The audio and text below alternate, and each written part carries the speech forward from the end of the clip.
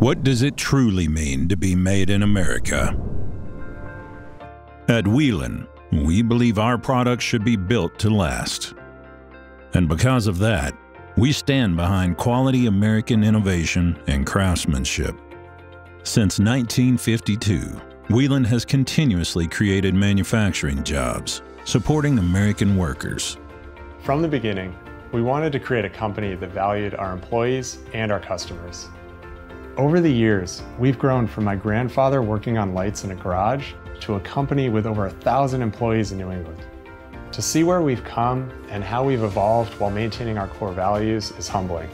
With over 800,000 square feet of manufacturing space, Whelen is capable of vertically manufacturing our product components, which provides jobs and ensures the highest quality throughout the entire production. The people is friendly, nice, helping each other.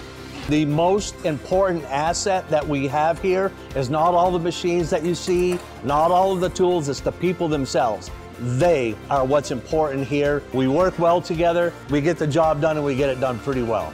When you have the right crew of people working together as a unit, we can accomplish anything we set our minds to. We stress quality, not quantity. We want to make sure that these American made products that we put out are going to work every single time in an emergency situation. Priding ourselves as the market leader, we prioritize quality. To ensure quality, we continue to celebrate American engineering and manufacturing with each product we create. At Whelen, we are committed to providing American sourced and made products.